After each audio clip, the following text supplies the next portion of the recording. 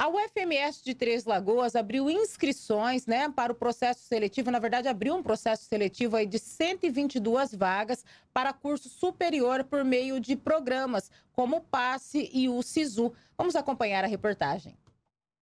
A Universidade Federal de Mato Grosso do Sul está com um processo seletivo aberto que chama Eu Quero Ser UFMS.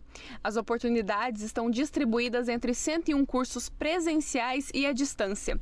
São 3.100 vagas para 18 municípios do estado. Dessa forma, os candidatos que fizeram as provas do vestibular da UFMS, do Programa de Avaliação Seriada Seletiva ou do Exame Nacional do Ensino Médio em anos anteriores têm mais uma oportunidade de de ingressar em cursos de graduação. Podem participar da seleção aqueles que prestaram o Enem entre os anos de 2018 e 2022, quem realizou a prova do vestibular UFMS entre 2019 e 2023, ou ainda quem participou da terceira etapa do passe nos anos 2018, 2020, 2019, 2021 e 2020, 2022. Em Três Lagoas estão disponíveis vagas para Ciências Biológicas, licenciatura com duas vagas vagas, Geografia Bacharelado com 8 vagas, Geografia Licenciatura, que são 12 vagas, História Licenciatura tem a possibilidade de estudar de forma presencial e à distância, são 31 vagas. Letras, Português e Espanhol Licenciatura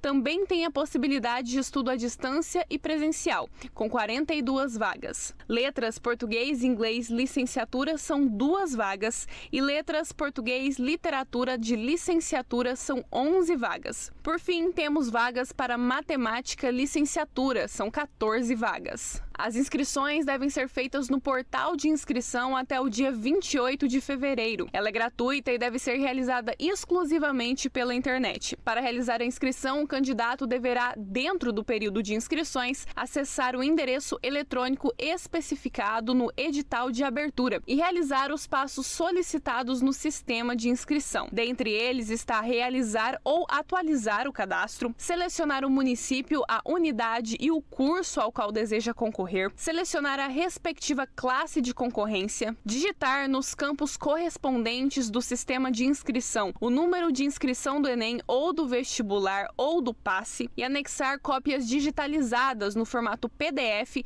dos documentos solicitados no edital. O resultado e a convocação para a matrícula deve ser divulgado no dia 10 de março.